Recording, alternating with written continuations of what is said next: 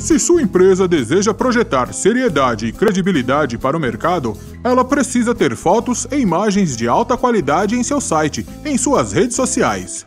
Alô, galera! Aqui é Irineu, o Pug, CEO da InsiderCon. Precisando desse tipo de trabalho? Acesse www.insidercom.com.br e fale com a gente. Sua marca merece ser insider. Agora fique com uma de nossas produções, o Insidercast. Lambejos!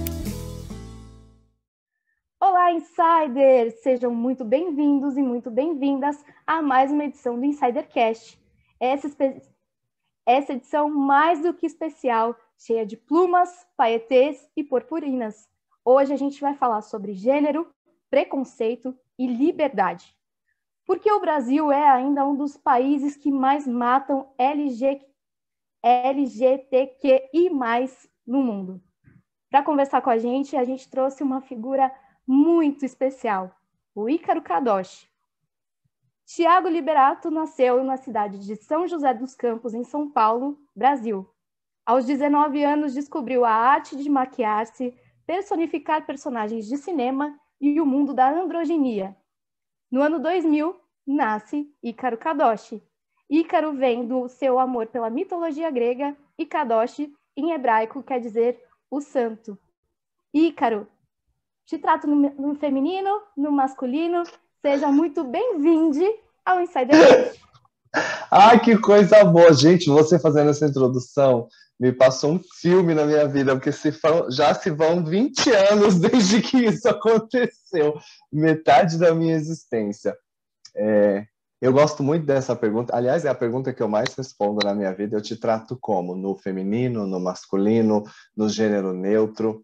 A minha resposta pra, padrão é sempre a mesma. Me trate com respeito porque aí o artigo para mim é muito secundário. Me tratando com respeito, eu não posso pressupor que você sabe como me tratar, mas se você me tratar com respeito, o artigo para mim não importa. então fiquem à vontade para me tratar do artigo que vocês se sentirem mais confortáveis. A gente vai te tratar no, no artigo do amor, pode ser? Isto, deve. Então, perfeito. E lógico que aqui com a gente, como sempre, eu tenho a presença do Cleiton Lúcio. Oi, Cleiton, tudo bem por aí? Oi, Bá, tudo bom? Oi, Ícaro, muito obrigado por aceitar nosso convite. É, vai ser uma honra poder conversar com você. E eu acho que a Bárbara ganhou meio que um presente antecipado né, com essa entrevista. e a gente também tem o Fábio de Oliveira aqui, né? Oi, Fábio, tudo bem? Opa, tô ligando aqui minha nave do Insidercast. Um dia histórico. Receber Ícaro é uma honra, um prazer enorme ter você aqui com a gente. A Bárbara, que te acompanha há muito mais tempo, vinha falando: vamos trazer o Ícaro, vamos trazer o Ícaro, e você está aqui com a gente hoje. Prazer em receber Ícaro. E já vou emendar a primeira pergunta.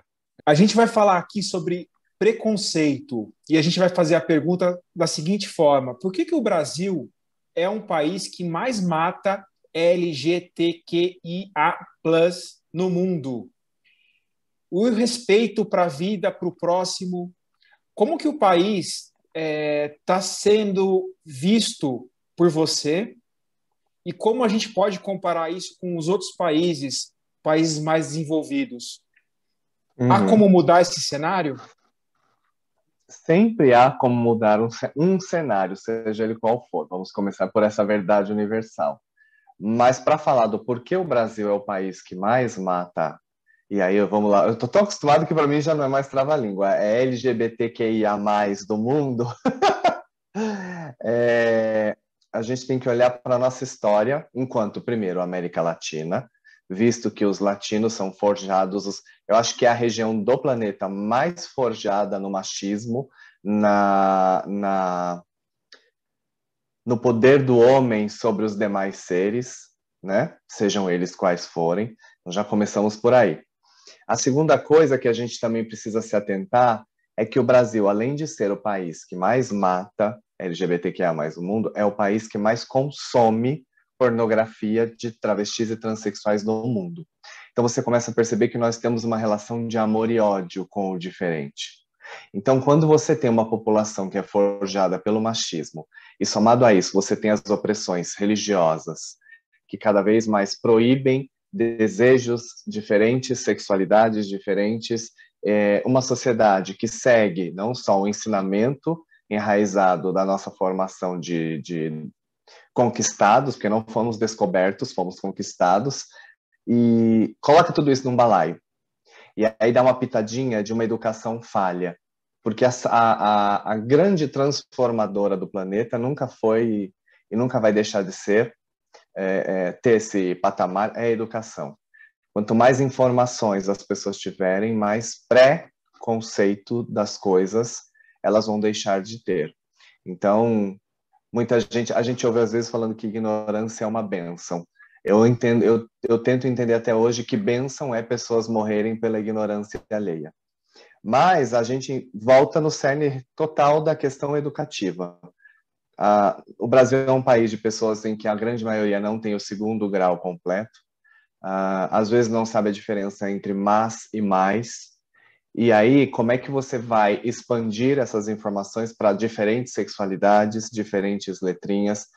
E se Darwin diz que a, a evolução não dá salto, às vezes eu me pego me questionando se nós não estamos tentando dar saltos demais porque antes de falar para as pessoas sobre ah, existe LGBTQIA+, a gente precisa entender uma coisa. Você sabe o que é respeito? Você sabe o que é respeitar a existência de uma outra pessoa, independente de como ela seja? Então a gente precisa voltar lá atrás, no cerne do que significa ser humano, e tentar trazer essa educação para a população brasileira, para que a gente comece do zero a entender coisas que já deveriam estar enraizadas na nossa cabeça, na nossa sociedade, no nosso país, como educação, amor, empatia, respeito, uh, aceitação, que são coisas bem diferentes. Eu não preciso aceitar o que você é, mas eu tenho o dever de respeitar o seu direito de existir sendo como você quiser. Sensacional isso, Ricardo. É, realmente, nós temos que respeitar os outros simplesmente porque todos nós somos iguais, nós somos seres humanos, antes de qualquer coisa, né? É, queria só fazer também uma, uma como posso dizer, é, uma adicionar uma coisa que é o seguinte, né? Além do machismo, além da falta de cultura e além da falta de educação, eu acho que essas três coisas contribuem para uma quarta coisa que é o seguinte: o Brasil, infelizmente, né, é um dos países mais violentos do mundo. Eu acho que aqui o respeito pelo ser humano e, e, é muito é muito confuso isso, porque assim, ao mesmo tempo que nós somos um dos países mais religiosos do mundo, um dos países entre aspas que deveríamos ser os mais tolerantes, ainda assim nós somos os mais violentos e os mais indiferentes com o ser humano, né? Eu acho que isso é uma coisa assim que chega a ser inexplicável às vezes, né? Como nós temos tanto, tanto potencial em sermos é, um país acolhedor, humano, e ao mesmo tempo nós somos extremamente violentos. Infelizmente, isso. Ícaro, é, eu tenho várias perguntas, tá? E eu acho que eu vou aprender muito com essas perguntas agora, que é sobre o universo drag, né? Primeira pergunta, uhum. eu até anotei aqui umas perguntas e para não me perder muito. A primeira pergunta é a seguinte: qual é o conceito de drag? É, drag é uma arte independente de gênero e é muito subjetiva? É a segunda pergunta. Uhum. Como definir essa arte? E afinal, drag, ah, afinal, drag foi feito para ser sentido e não explicado, como você diz? Ah, vou tentar responder tudo de uma vez só.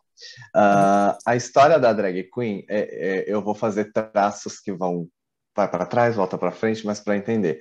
Primeira coisa que a gente tem que falar, as pessoas falam: "Nossa, esse boom das drag queens que estão dominando o mainstream, estão tendo programas de TV, estão, estão sendo cantoras é, é, globais como a Pablo Vittar, estão fazendo um monte de coisa que a gente não via antes fazer. Que legal que vocês estão conquistando novos espaços, né? Aí eu sempre falo, não. Nós não estamos conquistando novos espaços, nós estamos retomando o nosso lugar de direito. Aí as pessoas não entendem porque a gente fala isso né? É, então, se você for colocar na história da drag queen, a drag queen nasceu no século III a.C., na Grécia do período helenístico.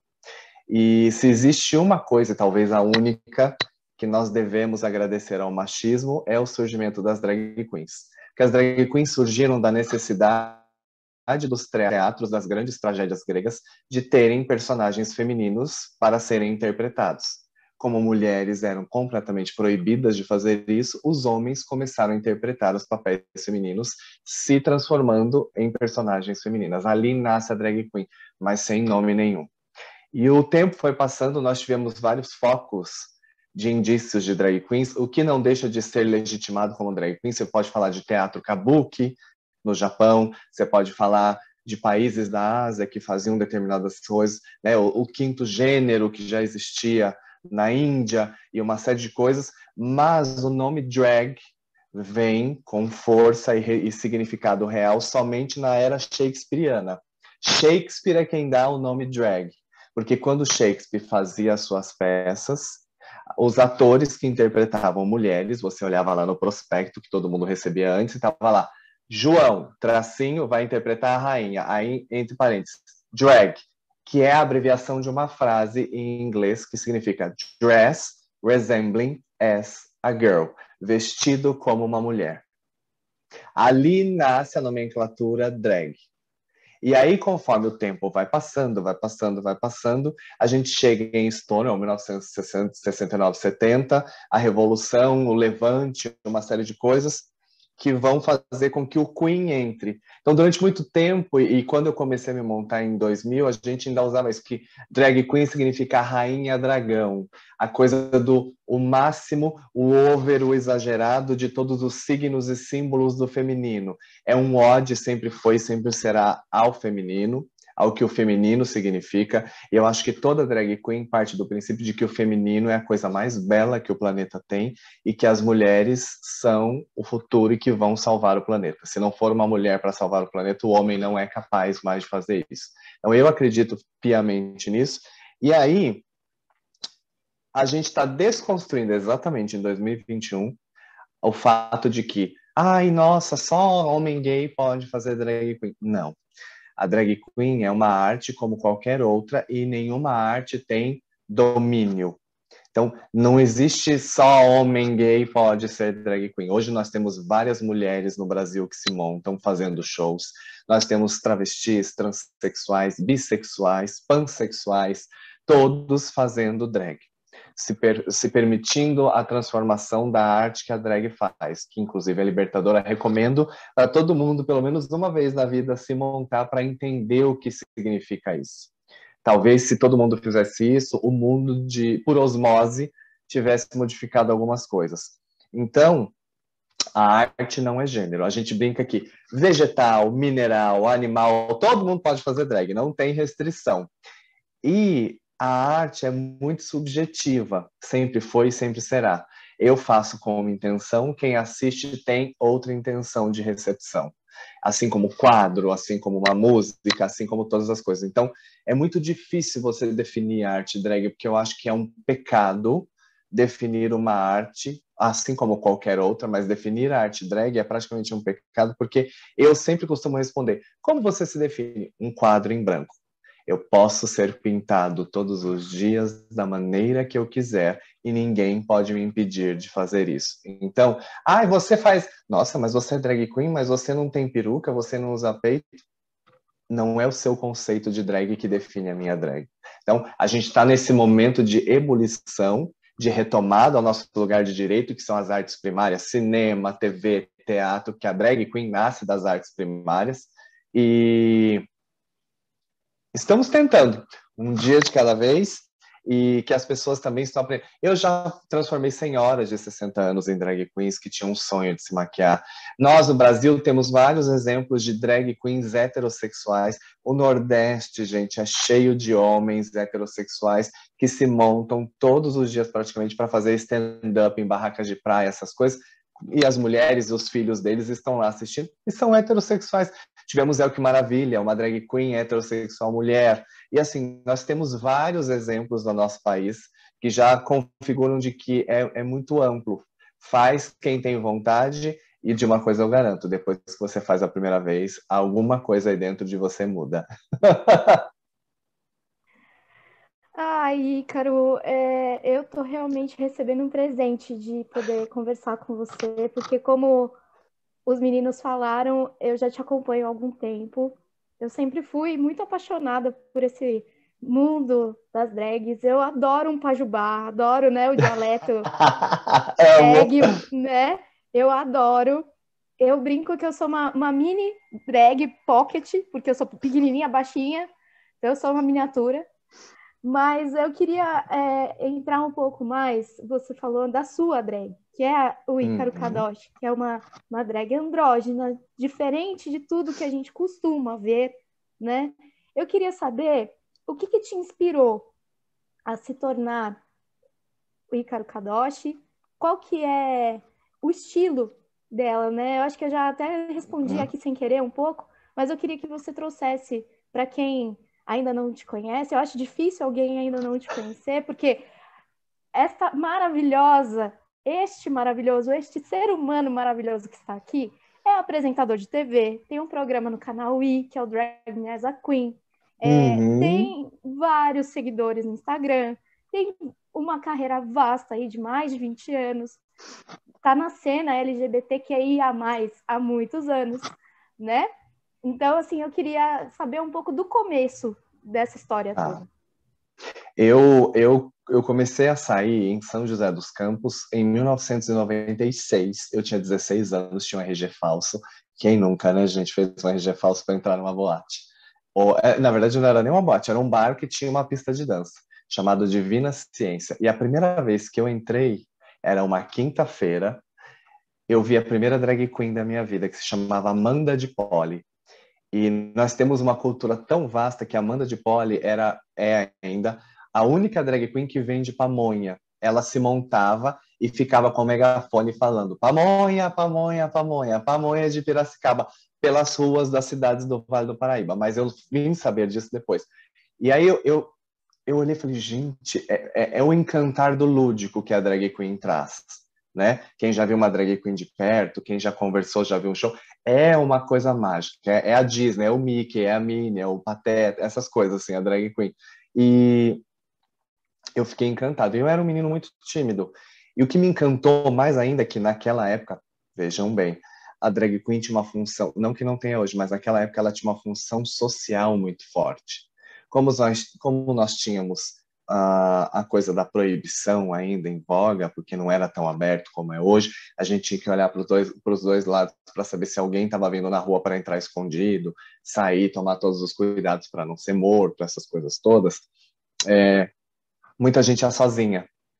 E aí as drag queens ficavam fazendo correio elegante, com uma cestinha, vários papéis e caneta. Então, se você gostava de alguém, você chamava drag, que era mais fácil por ser chamativa. Oi, ó, escreve aqui, entrega para aquele menino. E ela também via alguém sozinha, ela falava: Oi, tudo bem? Você veio sozinho? Peraí que eu vou te fazer um amigo, peraí.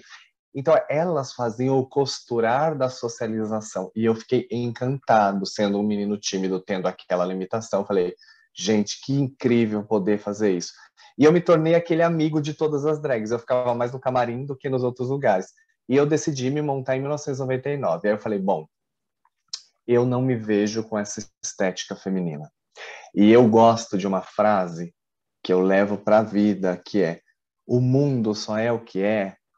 Nunca, na verdade, assim, o mundo nunca foi o que nós chegamos a ser hoje através de respostas. O mundo é o que é porque nós somos movidos a perguntas.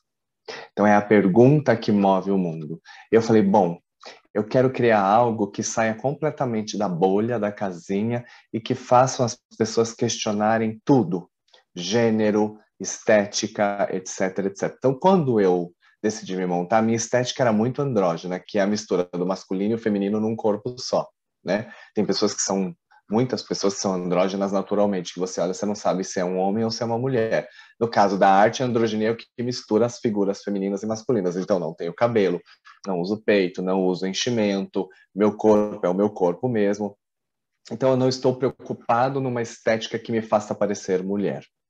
E aí cria-se perguntas desse tipo, igual da introdução. Eu te chamo de O, te chamo de A. Gente, mas o que, que é isso? Então, quando eu percebo que essa pergunta está no semblante da pessoa, eu já consegui fazer o meu trabalho, que é fazer ela questionar o funcionamento do mundo. Mas, gente, o que, que é isso? Pode isso? Não, eu preciso entender. Então, isso já é o que a arte provoca, o que a arte drag ou a estética que eu adquiri provoca. de fazer as pessoas questionarem o funcionamento do mundo.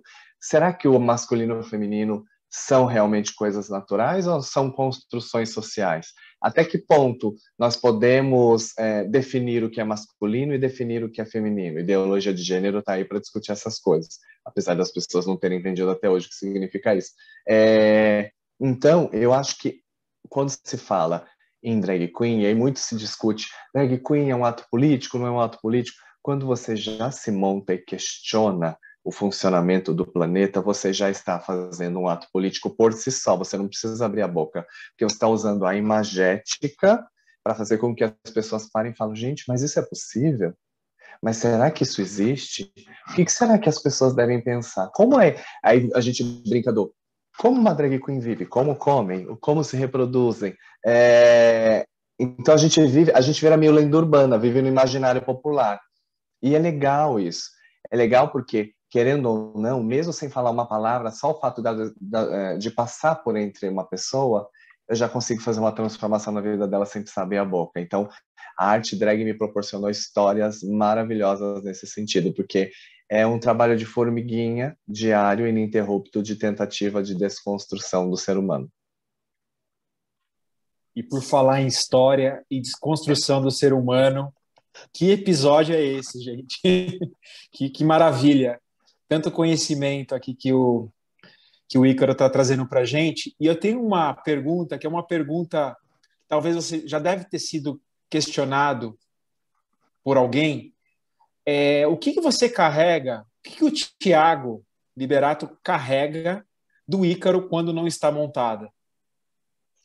Nossa, gente, é, no começo eu queria ter uma separação definidíssima. Pessoa, personagem.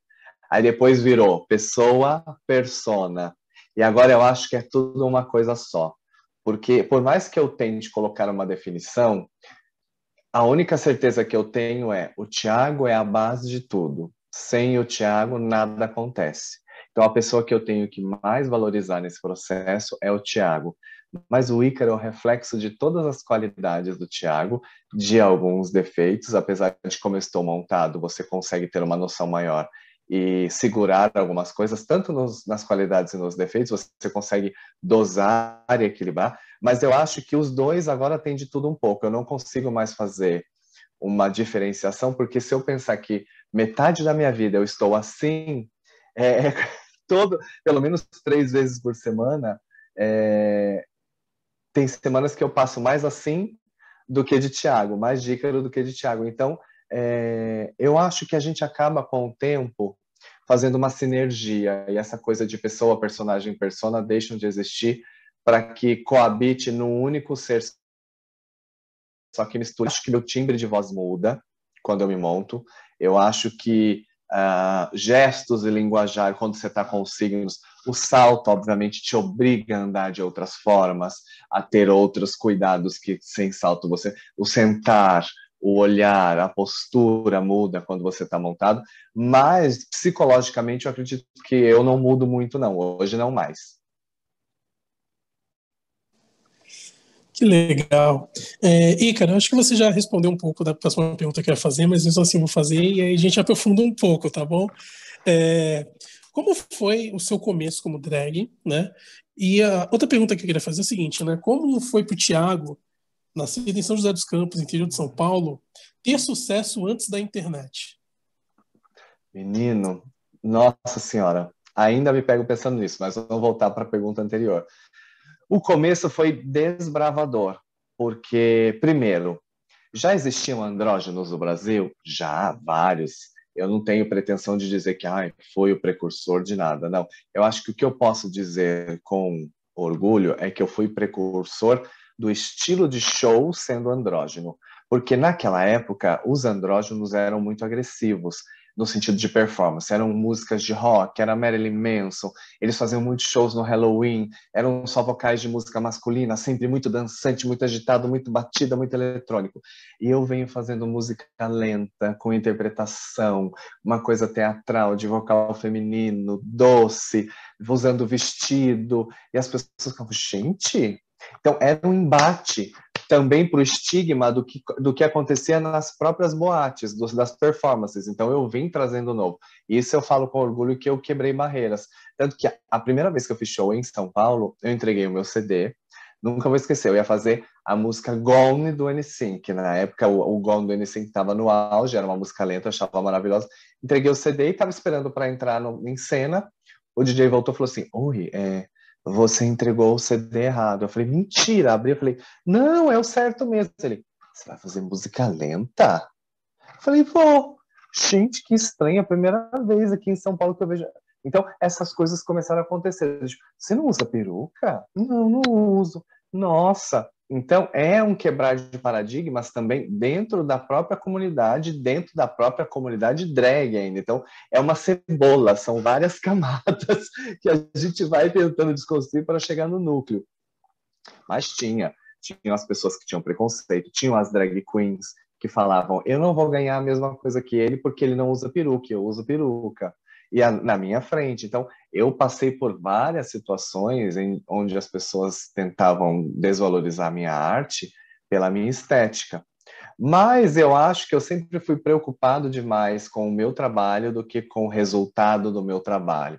Tem gente que faz show ou faz qualquer coisa esperando a fama.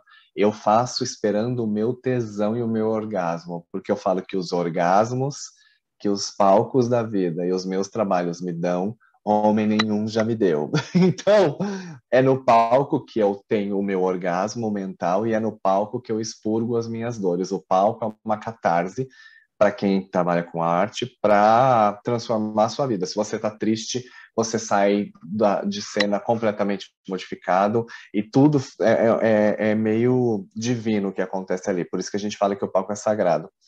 E conforme o tempo foi passando, eu lembro que eu comecei em 2000. Em 2004, eu cheguei em São Paulo. E foi aquele boom. Eu comecei a fazer show de segunda a segunda. Eu acordava três horas da tarde, eu me maquiava todos os dias. Então, eu não, não vi, praticamente não vi o dia. E comecei a viajar para todos os lugares do Brasil. Aí depois fui para fora. E a hora que eu vi, já tinha se passado dois anos e tudo acontecendo e tal. Ainda não caiu a ficha. E eu acho que ainda não cai, porque enquanto o patamarzinho vai subindo, você vai criando novas referências de onde você quer chegar. Então, o céu é o limite, já diria a frase, mas eu não tenho por hábito ficar me vangloriando do sentido de, ai, nossa, que desbravador, saí do, do Vale do Paraíba, fui para apresentar um programa na América Latina, nanana. É gostoso? É, mas não é um motim do, do que eu quero fazer. Eu tô aqui agora nesse exato momento, por exemplo, eu sou muito doido, eu gosto de fazer vários projetos ao mesmo tempo, não sei por que, que eu faço essa loucura, mas enquanto eu tenho vários projetos, eu estou fazendo uma pós ao mesmo tempo, nesse exato momento. Estou fazendo pós em psicanálise clínica. Por quê? Porque fazer o Drag Me as a Queen despertou em mim o que já tinha despertado há muito tempo. Porque quando eu fui fazer faculdade, eu fiquei entre jornalismo e psicologia. E eu acabei optando pelo jornalismo, pela situação financeira e tal, e hoje retorno a essa paixão pelo ser humano e a minha capacidade de usar o lúdico que quebra barreiras naturalmente para falar com as pessoas, para entender o funcionamento do ser humano, porque paralelo a isso, ser isso aqui me dá uma visão muito peculiar do planeta. Porque a gente não precisa mais que as pessoas falem. Pelo seu olhar, eu já consigo entender o que você está sentindo com relação a mim, porque foram tantas as vezes que eu, eu recebi esse olhar que já está na minha memória o que ele significa. Então, ser drag queen é uma faculdade que te faz entender o funcionamento do mundo por osmose. Claro, se você for interessado em aprender nesse sentido. Então, é muito legal. É muito legal você ser. É, engraçado o que eu ia falar agora. É muito legal você estar à margem, ser marginalizado, porque, independente de todas as coisas horríveis se tem uma coisa positiva é que a margem você consegue olhar o todo de outra forma. Então, estar à margem durante muitos anos me fez entender o funcionamento da sociedade. E a sociedade brasileira hoje se resume em quê? Hipocrisia, ignorância e falta de amor a si e ao próximo. Porque no final das contas, Ninguém dá ao outro o que não tem a capacidade de dar nem para você mesmo. Então a gente acorda vivendo com todas as pessoas falando: "Ah, eu te amo". Mas você se ama? Como é que você está falando eu te amo para alguém se você nem você se ama? Você, Para você se amar, você tem que cuidar do seu corpo, da sua mente, do seu espírito, do que você alimenta, tudo isso, a energia, porque tudo é vibracional. Então, você, você é responsável por todo o ambiente que você transforma. Então, o que, que você está fazendo? E aí você está falando, ah, eu te amo, amiga. Aí você vai estar tá chorando no canto.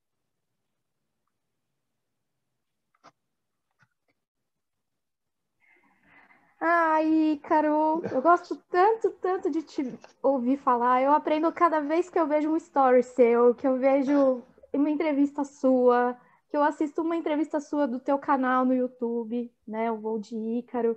É, eu acho que é tão importante a gente ter uma noção realmente do ser humano. Como eu achei muito lindo que você disse que a margem a gente enxerga, né? O, o outro, a gente enxerga é, com mais profundidade as coisas, né?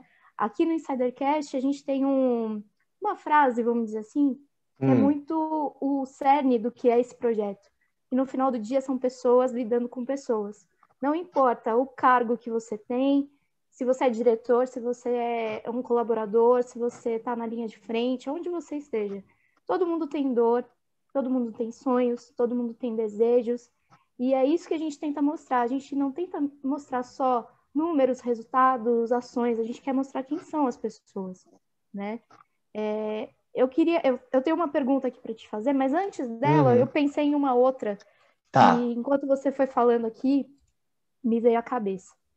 É, apesar de haver muito respeito, muita amizade no mundo LGBTQIA+, existe muito preconceito dentro do próprio núcleo, né? Como você acabou de dizer, que uma drag falava que ganhava ia queria ganhar mais que você porque usava peruca e você não, que queria ganhar mais porque usava um enchimento e você não.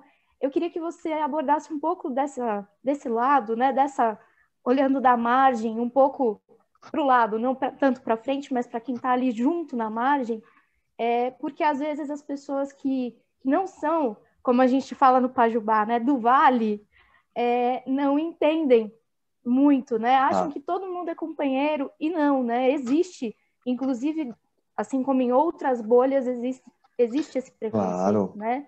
Eu é, acho que é assim, assim como os iguais, né? Uhum. A primeira questão e que é a mais triste de todas é que, na minha visão, opinião pessoal, a comunidade LGBTQIA+, é a mais tóxica que existe. Porque, primeiro, nós somos todos resultados do, da educação machista.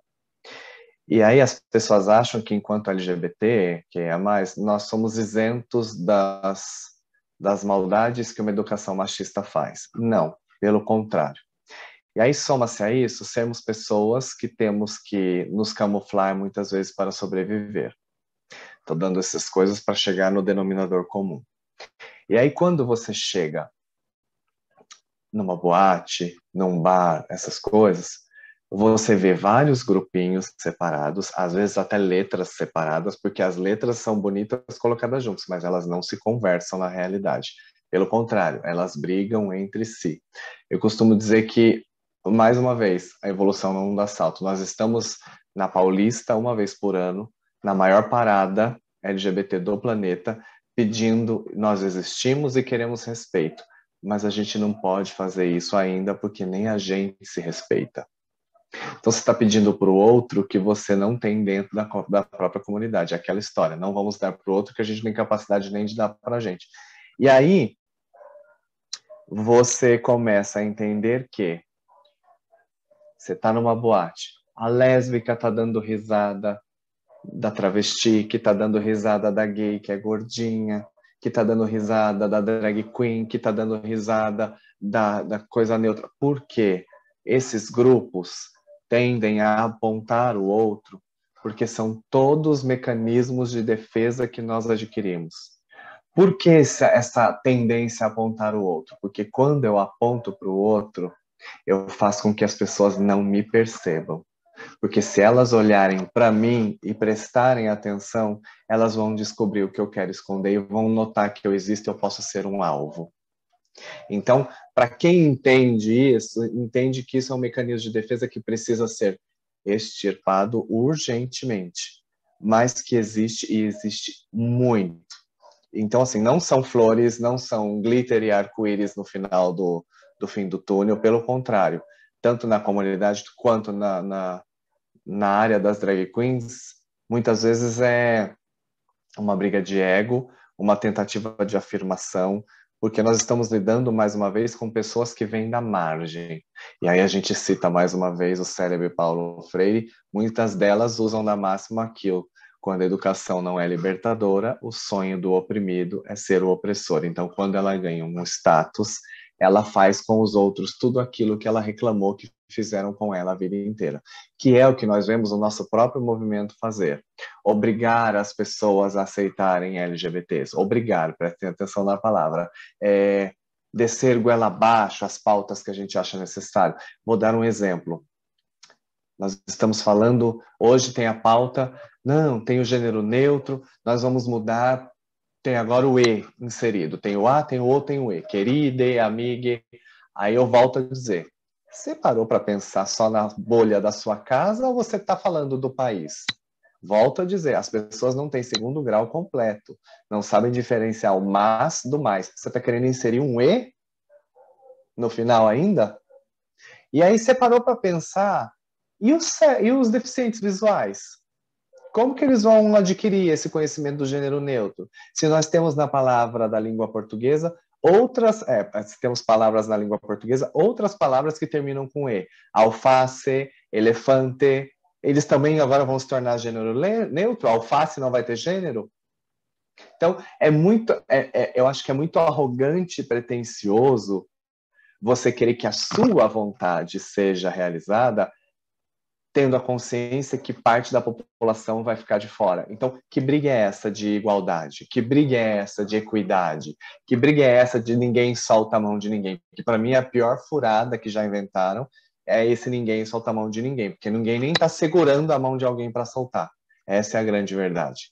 Então, essas coisas precisam ser repensadas e colocadas em pauta. Por isso que eu também faço questão de falar. Eu prefiro que você me chame com respeito. Eu entendo, eu entendo que artigos são importantes para as pessoas, principalmente travestis, transexuais, mas você pode ser e continuar sendo morta com o artigo feminino. Você pode ser xingada no artigo feminino. Você pode ser escorraçada de um lugar no artigo que você quer, no gênero neutro. Então a gente precisa voltar a milhares de casas e começar com o respeito não importa, no momento que a realidade que nós vivemos, o artigo se torna secundário. Se ele tratar você com respeito e valorizar a sua vida, te proteger para que, a sua, para que a sua existência chegue ao final naturalmente, já é um grande passo. E as pessoas estão lutando para colocar um E. Ai, Caro, que eu, eu fico admirada com a sua sabedoria e principalmente com a, com a tua, se é que eu posso dizer assim, a tua humildade. De, de como Obrigado. diz o filósofo, só sei que nada sei, né? De sempre buscar mais conhecimento. Eu, eu te acompanho, né? Como eu falei no Instagram, sempre vejo tua postagem de cinco novas palavras todo dia, né? De, de aumentar o vocabulário, de realmente sempre estar tá aprendendo algo diferente, buscar o conhecimento, né?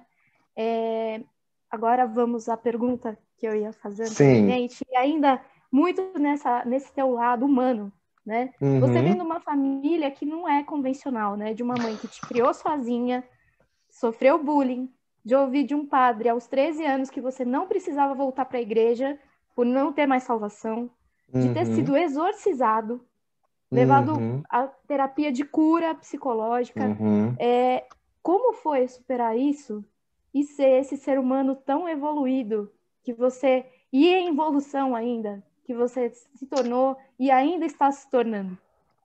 A Jana está me deixando emocionado. Para! É, eu acho que a ironia da resposta, porque a resposta que eu vou dar para você é a fé me fez fazer isso. Primeiro que eu, eu, aos 13, quando tudo isso aconteceu e essa barbárie toda, eu nunca deixei de, de acreditar que eu tinha o direito de crer em Deus. Vamos começar pela parte religiosa que me toca. Então eu fui atrás, é, eu não aceitei aquela resposta como verdadeira, e eu fui atrás para que eu conseguisse continuar exercendo o meu direito a ter fé e a fazer parte da seara divina. Então eu fui em todas as religiões com um caderninho, sempre nerd, um caderninho, ah, isso aqui, isso aqui, não, esse é ponto positivo, ponto negativo, ponto positivo, ponto negativo, né? Até que eu encontrei o kardecismo e ali fiquei, me encontrei principalmente por ser ciência, filosofia e religião numa num, englobada num lugar só. E olha, é, eu acredito, estava falando até sobre isso ontem eu não, eu não tenho vergonha e nem, nem receio de falar de nada da minha vida, porque nós somos resultados daquilo que nós vivemos. Então, quando você conhece pessoas do tipo, fala, ai, tem um trauma, por exemplo, o pai morreu. Ah, como foi a morte do seu pai? Não consigo falar sobre isso, não quero falar. Lógico que estou tirando fora psicoses, neuroses, essas coisas, mas a pessoa não quer falar porque dói, porque ela está apegada a esse, a esse, a esse evento. Ela não se permite aprender. Porque se tem uma coisa que é certa na vida, uma, nós vamos morrer algum dia. Dois, a vida vai passar e vai atropelar. O que, que, que é o atropelar? Nós vamos sentir dor. De uma maneira, de outra, mais intensa, menos intensa. Todo mundo vai sentir dor. E aí, o que, que você decide fazer com essa dor é que está a diferença. Porque se eu tenho uma dor na minha frente, vai doer de qualquer maneira, mas eu posso é, decidir só, só sentir a dor ou eu posso decidir aprender enquanto dói. Então, decida aprender enquanto dói. Porque eu falo que eu sou o que eu sou hoje e ainda grão de areia é muito pequeno, cheio de defeitos, tentando cada dia mais melhorar. Tem dias que eu erro grosseiramente me destruo, porque muitas vezes eu sou o meu pior inimigo, mas outro dia levanto e falo, não, vamos tentar de novo, essas coisas. Porque no final, se você conseguiu mudar dois defeitos da sua personalidade, a vida valeu a pena. Né? Eu, tenho, eu tenho pavor de pessoas que usam, ah, eu nasci assim, eu sou assim mesmo. Eu tenho pavor de quem faz isso, porque é uma pessoa que decidiu conscientemente ser acomodada, em que aquele lugar confortável da cadeirinha, daquele, daquele defeito, tá bom para ela, ela tá tranquila ali. Então, eu não consigo entender como uma pessoa não quer sair, não quer subir degraus. E subir degraus significa dor. Porque se nós fôssemos inteligentes e espertos e sábios, a gente aprendia com amor, com felicidade. Quem em sã felicidade, no êxtase da felicidade, para para pensar: nossa, agora que eu estou feliz, deixa eu ver as pessoas da minha volta. Deixa eu ver o que, que eu consigo aprender agora que eu estou feliz. Ninguém, a gente não faz isso. É só quando vem a dor que você fala: meu Deus, por que, que isso está. Todo mundo vira crente, né? Porque fala: meu Deus, o que, que eu fiz para merecer isso? O que está acontecendo comigo? E aí eu volto a dizer: a gente não Freud diz uma coisa que é maravilhosa. Nós, Freud descobriu que eu acho que é, nós sofremos golpes né, ao longo da vida, né, que eles chamam de feridas narcísicas, que vem da destruição do homem de se achar especial. Começou lá em Copérnico, que falou que a, o planeta Terra não era o centro do universo. Ah, meu Deus, nós não somos o centro do universo, e agora? Então, quebra ali. Aí depois vem Darwin. Vocês não são criaturas que vieram do barro. Vocês estão na cadeia evolutiva. São milhares de bilhões de anos para chegar. Mentira! Eu não fui criado do nada como um ser especial. Ah, não. Mais um. Aí vem Freud e fala: existe um inconsciente. Você não é dono nem do que você pensa. Ah, meu Deus, eu não consigo nem controlar. Quem controla? Você sabe? Para para pensar. Você controla o pensamento que você tem no dia inteiro? Não. A gente recebe e apenas vai. A gente não tem o controle nem do que está aqui dentro. E aí é uma tentativa diária e ininterrupta de ser especial. Eu preciso ser especial. E aí você tem a plataforma perfeita para isso acontecer, que é a rede social. E aí nós estamos vivendo um show de Truman. Todos os dias as pessoas estão fazendo reality shows das suas próprias vidas. E aí fica a pergunta: será que essas duas horas que você demorou para decorar um, um, uma dublagem no TikTok, você não conseguiria ler um livro e aprender algo novo? O que, que você está fazendo com a única coisa que não volta, que é o tempo? E aí depois você está, ai meu Deus, o que está acontecendo comigo? Você está exatamente na posição que você se permitiu colocar. Então não adianta você reclamar dos lugares que você se coloca, porque também é muito fácil culpar o mundo pela sua falta de coragem de enfrentar a vida de peito aberto. Ícaro, e por falar em coragem, a gente anotei várias coisas que você falou aqui ao longo dessa conversa, e uma delas me chamou muita atenção, que é a questão do quebrar regras. Você desde o começo, quando começou a, a quando decidiu né, ser uma drag, você já estava quebrando regras perante a sociedade. Você bancou esse risco, falou, vou bancar e vou para cima. Teve a coragem. E o que me chamou também a atenção, o quanto você é, transmite as suas ideias com tanta clareza e com tanta coesão, quando você compara e não se é, uma etiqueta em você falando, não, coitado, né? é, ou você assim está muito à frente do nosso tempo para ser assim muito se fosse fazer um paralelo é, estava pensando nessa frase está muito à frente e, e, pelo fato de você é, quebrar sempre, sempre pensar em quebrar as regras fazer o novo inovar fugir do lugar comum é, voltando agora um pouco para o showbiz, você já, dentro e fora dos palcos, já, já tinha essa mentalidade, né? E você falou que está fazendo, inclusive, psicanálise até para entender um pouco mais a cabeça do uhum. ser humano. É, fala um pouco para a gente do seu estilo e como que ele se encaixa hoje.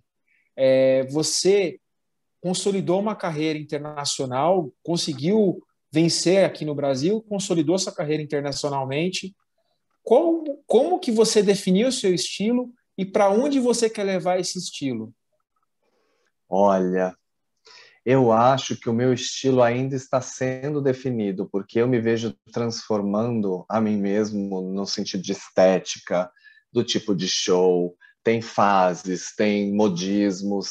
Modismos, na verdade, assim, que eu crio para mim, tipo, ah, agora eu estou na fase de fazer músicas de uma cantora. Ai, depois. Então, tem essas coisas também.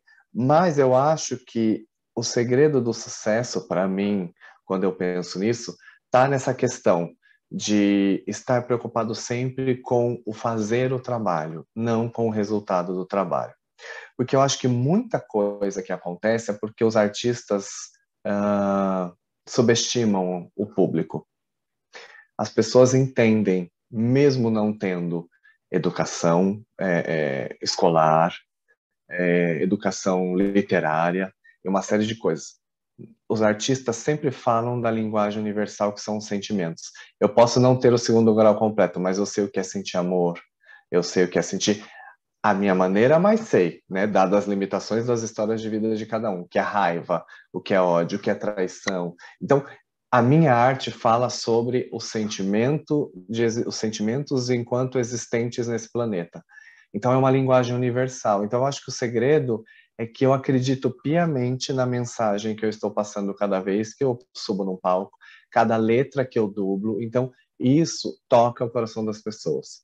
Existe uma coisa que é muito doida, que eu sempre falo isso e sempre reflito sobre nas questões de como a vida é doida, porque eu vou fazer show, por exemplo, em boates grandes, com duas mil, três mil pessoas.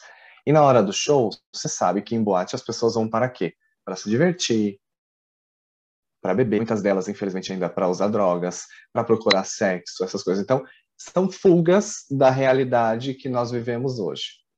E aí chego eu fazendo show lento, teatral, dramático, e quando termina o show e olho para frente, um monte de gente chorando. Então, eu fiz ela sair desse contexto de quero esquecer da vida e levei ela para outro lugar, dentro do seu coração e da sua história, da sua mente, que a fez se emocionar lembrando de alguma coisa. Isso é muito doido. Eu não consigo entender a catarse que acontece com todos nós, etc. E, e, e é bom que eu consiga não entender mesmo, para que o ego não suba. Deixa sem entender até o fim da minha vida. Deixa lá, deixa na caixinha sem. Mas é, eu acho que o segredo está no tesão, no amor e no, na preocupação em fazer o seu melhor. Seja, eu já fechou para uma pessoa, para cinco pessoas, já fechou em caixa de cerveja, já inaugurei rua, é, já fiz. Nossa Senhora! tanta coisa nesses 20 anos e sempre com o mesmo pensamento. Eu estou aqui para fazer o meu melhor, porque às vezes uma pessoa só que assista também pode ser que vai mudar a minha vida. E já aconteceu, várias coisas da minha vida aconteceram quando eu menos esperei fazendo os meus trabalhos. Então eu acho que também se paga um preço. Quando eu, quando eu decidi que eu ia me montar, a primeira coisa que a minha mãe falou é: eu não quero ver você numa esquina se prostituindo. Porque naquela época a visão é quem se vestia de mulher era para se prostituir na esquina. Então é uma desconstrução geral, inclusive dentro do núcleo familiar, por mais moderno que ele fosse, porque o meu sempre foi mais moderno que os demais. Uh, mas eu perdi todos os meus amigos, porque em 1999, quando eu falei que ia me montar, drag queen era muito bonito de ver no palco, mas era uma queimação de filme andar junto. Então eu perdi quase todos os meus amigos, o lado amoroso fica muito sacrificado e mais uma vez pelo ensinamento machista, preconceituoso, porque como no mundo que nós habitamos, a mulher vale menos, o feminino vale menos, isso aqui é símbolo do feminino. Então, é como se eu, enquanto macho, pegasse os meus privilégios de macho e jogasse no lixo e fizesse do feminino, como eu faço, a forma da minha arte, muitas vezes do meu ser. Então, para os homens gays, que vêm em grande maioria dos ensinamentos machistas e não são desconstruídos, eu valho menos. Então, não vale a pena estar como a drag queen, fora o preconceito de querer apresentar um homem para sua mãe. Então, isso aqui não é um homem para apresentar a mãe. Então, existem, não tem pelo, não tem barba, que é o ideal masculino criado de que a perfeição masculina tem que ter cabelo, barba, corpo musculoso, etc, etc, etc. Então, eu continuo quebrando paradigmas, mas existe um preço dentro de tudo isso. E eu volto a dizer, eu acho que no final das contas eu tenho percebido agora aos 40 anos de idade, já que a vida começa aos 40, que o preço vale muito a pena. Porque você deixa uma semente, um legado de desconstrução e de dizer que o humano, a existência, a experiência de viver no planeta Terra é muito maior do que a, maioria das pessoas imagina. É, Ícaro, você falou nessa última resposta sobre mulheres e sobre o mundo feminino, né? A minha uhum. pergunta aqui é a seguinte: o que, que você acha do movimento de drags meninas e se você tem alguma que admira? Gente, eu acho maravilhoso. Eu volto a dizer, quanto mais pessoas estiverem se montando, melhor é a desconstrução e maior é a chegada da informação às pessoas.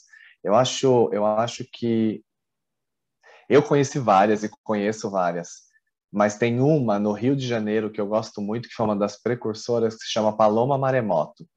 Hoje ela dá aula de maquiagem para mulheres, para outras, para outras pessoas, para homens, para gays que querem aprender a arte da maquiagem. Eu acho ela incrível, Paloma Maremoto.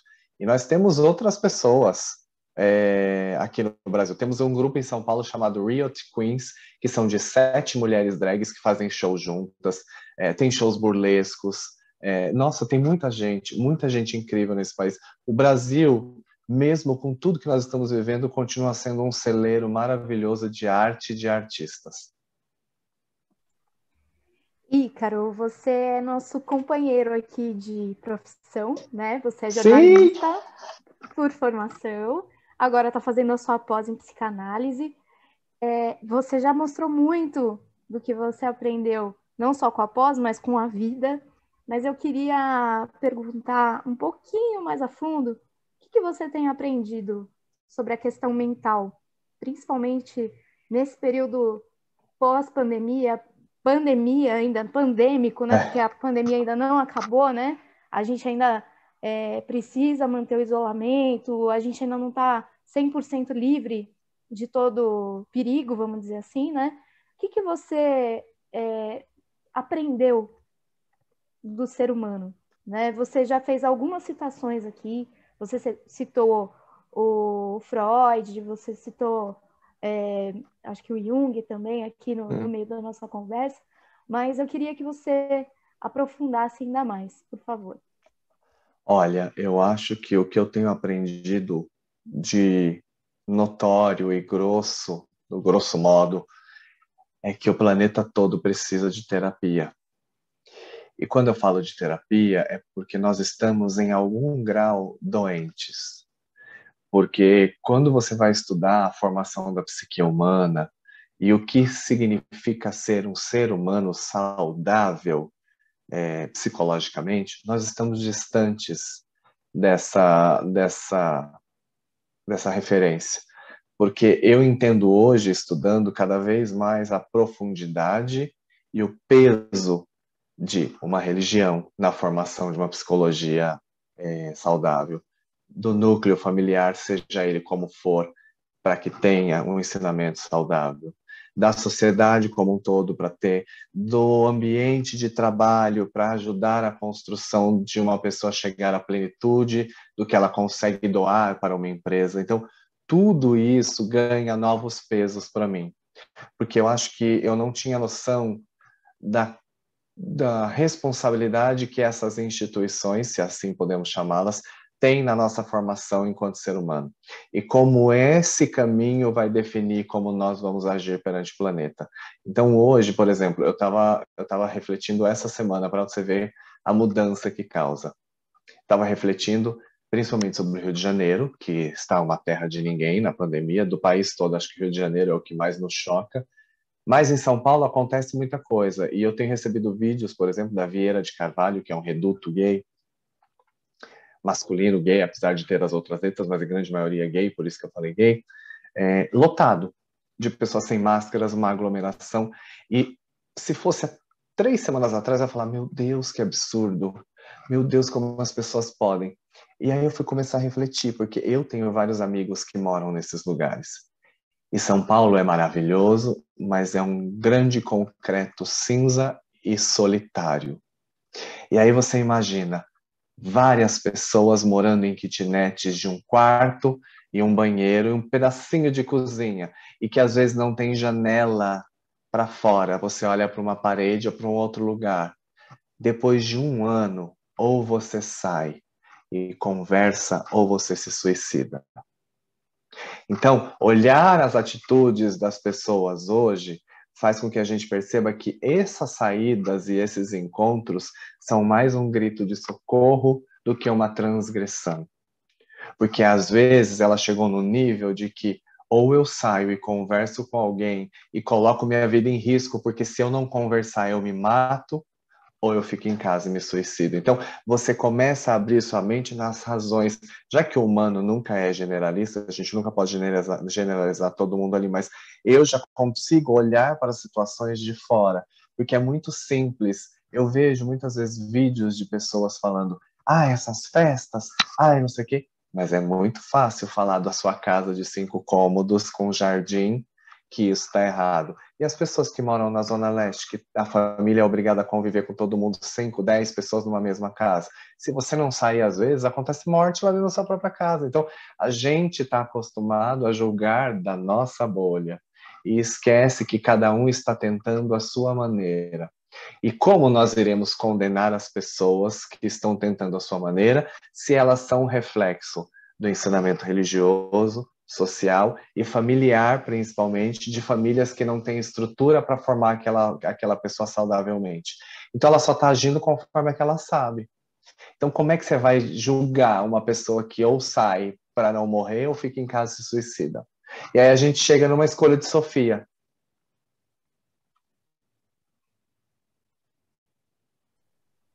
Cabeça aqui está explodindo com tantas insights e tantas ideias Impressionante. Ícaro, a gente está aqui encaminhando já para o final, infelizmente, aqui do nosso episódio. Mas antes, a gente queria saber um pouco da sua agenda e quais são os seus planos aí para esse ano. A pandemia atrapalhou um pouquinho, acredito. E quais são os planos daqui para frente? Menino, atrapalhou um pouquinho, é bondade tua. Eu vou fazer uh, agora, sábado, o meu primeiro show em um ano. É uma live, mas vai ser uma live com um palco. Então, é a primeira vez que eu saio de casa para uma live com tudo certinho, mas para fazer show num palco. Então, estou muito emocionado de depois de um ano conseguir pisar num palco. Vai ser mais uma vez catártico para mim, creio eu, eu vou me emocionar muito. E o ano passado eu fiz os 20 anos de carreira e foi exatamente em novembro, que é o dia do meu aniversário, e eu não pude comemorar. Então, esse ano, uma das minhas grandes pretensões é até o final do ano, que eu creio eu, e esperamos que do segundo, no segundo semestre as coisas estarão muito melhores para esse país. Espero, no sentido da pandemia. E aí eu pretendo comemorar os 20 anos de carreira antes de novembro. Então, estou pensando em outubro para chegar lá no máximo que eu posso antes de fazer 21 anos. Então, eu preciso, pretendo comemorar, continuar estudando. Tenho vários projetos aqui encabeçados que estão esperando essa situação normalizar, mas que também eu não posso falar ainda. Não, não é demagogia de gente falar, ah, não posso falar, não, não posso falar mesmo. Mas tem, por exemplo, vou abrir, vou abrir um, um negócio em, em uma sociedade com amigos. Então, são coisas que estão encaminhando e que a pandemia deixou no hold aí de espera para a gente colocar em prática. E voltar a fazer show é uma das coisas que eu pretendo muito fazer. E, e eu tenho coisas aí, eu volto, eu sou, eu sou meio que um bombril, né? Eu faço, eu celebro casamento, eu faço palestras, sou mestre de cerimônias. Então, já fui contratado para fazer, para ser o mestre de cerimônias do Miss Brasil Gay em Juiz de Fora em agosto, que já fazem três anos que eu faço isso. Então, as coisas estão começando a aparecer novamente nessa área, mas só lá para frente que as pessoas estão marcando, porque nós ainda não estamos seguros de nós mesmos para fazermos isso. E aí eu queria deixar um adendo muito interessante, que é a escolha de Sofia, parte 2. Nós entendemos que nós vivemos num país onde praticamente ah, o governo não existe ou não faz o que deveria. Mas não é muito comodismo da nossa parte, às vezes, dizer que na pandemia, no sentido da pandemia, a culpa é só do governo? Gente, eu, eu não preciso nem dizer, sendo aqui como eu sou, as coisas que eu penso no sentido do governo, mas eu acho que a gente tem que dar a César o que é de César. A gente não pode jogar a culpa somente em uma pessoa quando todo mundo está deixando de fazer a sua parte. E aí eu volto lá no que eu falei lá atrás é muito cômodo jogar para fora e não assumir o seu erro dentro de tudo isso. E, cara, infelizmente a gente está chegando no final do episódio e eu gostaria que você deixasse o seu recado final e as redes sociais para os insiders poderem te achar. Olha, as minhas redes sociais são todas com o mesmo nome, é arroba para tudo. É Ícaro Kadoshi na página do Face, no Twitter, no Instagram, no... é tudo Ícaro Kadoshi. É... Eu acho que de mensagem final, eu não vou ser demorado, não. É... Eu ouvi uma frase uma vez que norteia também a minha vida. Eu sou norteado por várias frases. E é uma frase que, se, que diz assim: Que Deus me dê somente aquilo que eu possa compartilhar, porque seria triste demais ser feliz sozinho. Então não adianta você buscar a sua felicidade quando ela chega, você olha para o lado e não tem ninguém para compartilhar com você. Então que a gente aprenda de uma vez por todas que sozinho nada acontece. Nossa, sensacional. É, eu acho que esse episódio é um dos melhores, se não o melhor que a gente já fez, viu? Não, de verdade. Ah, que honra! É... Assim, Ícaro, é... quando a gente recebeu a pauta, eu fiquei até um pouco assustado pelo seguinte, porque eu sou uma pessoa que não está no seu meio, entendeu? Uhum. Eu sou aquela pessoa que, que, infelizmente, né, eu não tenho tanto conhecimento. E eu fiquei assim, com, meio com o pé atrás, porque será que eu vou conseguir desempenhar um papel bom na entrevista? Será que eu vou conseguir realmente é, me conectar? E, cara, você é um ser humano incrível, de verdade, tá? Então, assim, para mim, essa foi uma das melhores entrevistas que eu já fiz. Foi muito bom poder conversar com você. Foi... A Bárbara foi, foi sensacional, assim, ter te procurado, viu? E muito obrigado por ter aceitado o convite. Agora, Fábio, é com você. Cleiton, faço das suas palavras as minhas palavras aqui. Eu estou aqui quebrando um tabu hoje. É, a Bárbara trouxe também. Quando eu estava preparando a pauta, eu falei: não, vai, não tem como essa entrevista ser ruim. até estudando toda a trajetória do Ícaro, eu assim fiquei navegando por horas para tentar descobrir o máximo da história e trazer para essa entrevista. Eu falei, daquele momento eu mudei meu o meu pensamento foi assim um quebra de paradigma e assim e, e ainda muito mais tendo esse contato agora com com o Ícaro nessa entrevista a gente percebe o quanto a gente é pequeno né perante a, as situações e o quanto a gente tem que é muito que aprender para a gente ser uma sociedade melhor. Ícaro, muito obrigado, um beijo no seu coração e uma honra, uma gratidão ter você aqui com a gente. Bom. Bárbara, é com você. Me esqueci até de chamar a Bárbara aqui. Ficou tão emocionado que me esqueceu no churrasco. É... Bom, a ideia de trazer o Ícaro é, era para a gente ampliar ainda mais a discussão que a gente tem tido com as empresas, inclusive, né, em relação à comunicação e ao tema de diversidade. Queria trazer para os insiders como é o outro lado da moeda, o outro lado de quem vive na pele a situação de, de ser LGBTQIA+, de não só pelo lado da marca, do pink, pink money, né? Que a gente fala, não só ganhar dinheiro por uma causa, mas como é na prática ser LGBTQIA+, e mais do que isso, é, por eu acompanhar o Ícaro há algum tempo, eu percebi, é, no meu leigo entendimento, o ser humano incrível que ele é. E como um, um dos pilares do Insidercast é transformação, é, essa história sintetiza muitas transformações, sejam internas, sejam externas, é, sejam de paradigmas, sejam de mentalidade.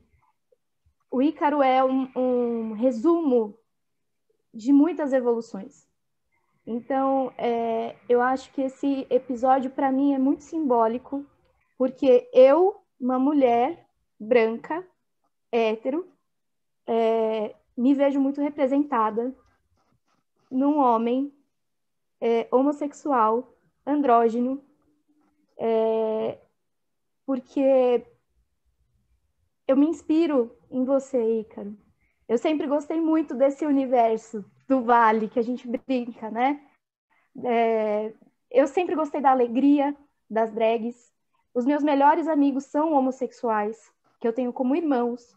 Então eu sempre frequentei muito é, boates, é, LGBTs, é, aquelas que tocam anos 80. Eu amava estar naquele ambiente, pela alegria que me, me trazia todo aquele conceito. Então, hoje é a coroação de tudo isso. Ter o Ícaro aqui com a gente, para mim, é, é, um, é um presente, de verdade. Quando eu mandei a mensagem e prontamente ele respondeu aceitando, eu fiquei muito feliz porque eu queria compartilhar com o máximo de pessoas que eu puder o ensinamento que eu tenho com você. Muito obrigada, de coração, por aceitar o nosso convite. Obrigada por não enxergar na gente só um podcast que fala de comunicação e que fala de é, mercado, vamos dizer assim. A gente quer falar de ser humano. Então, eu acho que não existiria uma representação maior de ser humano do que a tua história, por tudo que você passou, e por tudo que você representa. O meu muito obrigada, mais uma vez. O meu muito obrigada, Cleiton. Muito obrigada, Fá. Muito obrigada a todos os insiders que estão ouvindo. E os que não são insiders, convido a serem, que vão começar a nos ouvir a partir de agora. É... Eu... Esse projeto é a minha menina dos olhos e eu quero que todo mundo cresça, assim como a gente tem crescido ao longo desses, no momento dessa gravação, dois meses de projeto. Eu tenho muita certeza que ele, a gente ainda vai crescer muito, tanto a gente fazendo como quem está ouvindo. Então, esse é o grande intuito, que é como a gente fala, né? No final do dia, são pessoas lidando com pessoas. É isso que a gente quer trazer aqui. Mais uma vez, a todo mundo, meu muito obrigada. Estamos nas nossas redes sociais, em todas, arroba InsiderCast. Então, curtam, compartilhem, divulguem. É, se tiver dúvida, sugestão, crítica, o nosso e-mail é contato@insidercom.com. Mais uma vez, de coração iluminado, purpurinado e cheio de alegria, meu muito obrigada e até a próxima.